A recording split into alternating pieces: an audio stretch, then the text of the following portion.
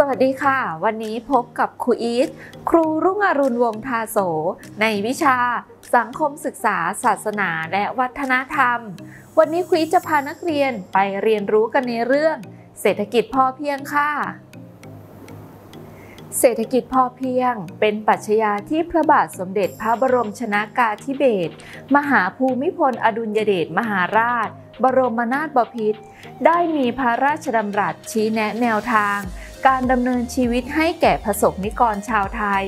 เพื่อให้สามารถพึ่งพาตนเองได้ และสร้างความมั่นคงทางด้านเศรษฐกิจ โดยการใช้ทรัพยากรที่มีอยู่ให้เกิดประโยชน์ และคุ้มค่ามากที่สุดค่ะ ต่อไปเราไปทำความรู้จักกับความหมายของคำว่า เศรษฐกิจพอเพียงค่ะ ถ้านักเรียนพร้อมแล้ว ไปกันเลยค่ะ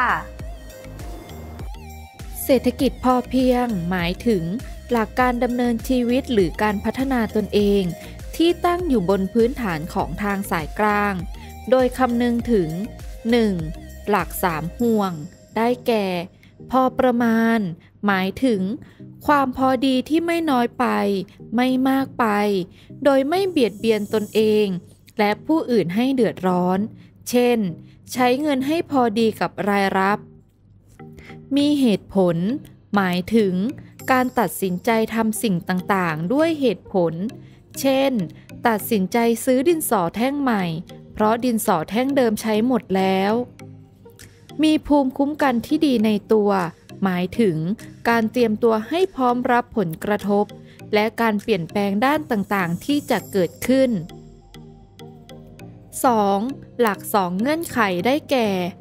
เงื่อนไขความรู้ หมายถึง ต้องมีความรอบรู้ในด้านต่างๆ มีการใช้ความรู้อย่างรอบคอบ และนำความรู้มาใช้ปฏิบัติด้วยความระมัดระวัง เงื่อนไขคุณธรรม ประกอบด้วย การมีความซื่อสัตย์สุจริต มีความขยันหมั่นเพียร มีความอดทน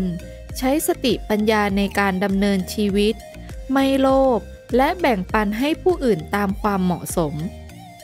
เด็กๆเเข้าใจแล้วใช่ไหมคะว่า เศรษฐกิจพอเพียงคืออะไร และสิ่งเหล่านี้เราจะนำไปประยุกต์ใช้อย่างไรดี เราไปดูตัวอย่างพร้อมๆกันเลยค่ะ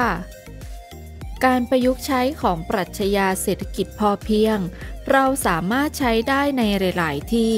ไม่ว่าจะเป็นการนำมาใช้กับครอบครัว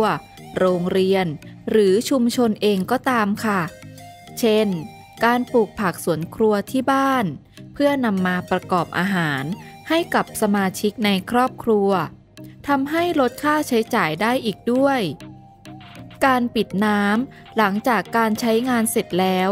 นอกจากจะช่วยประหยัดค่าน้ำแล้ว ยังทำให้ทรัพยากรน้ำมีใช้ในอนาคตต่อไป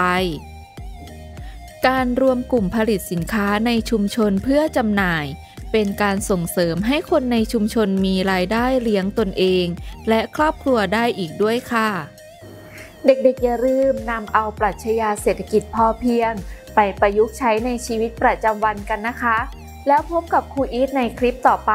สวัสดีค่ะ